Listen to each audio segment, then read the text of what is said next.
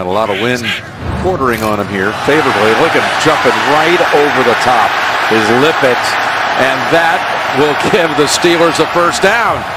Number 36. It's a five-yard penalty. It results in a first down. Well,